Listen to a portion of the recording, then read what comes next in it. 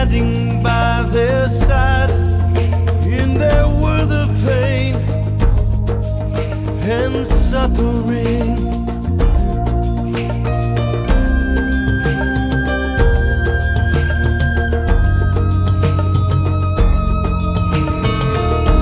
Have you ever seen the look in a hungry child's eyes? They can't eat promises.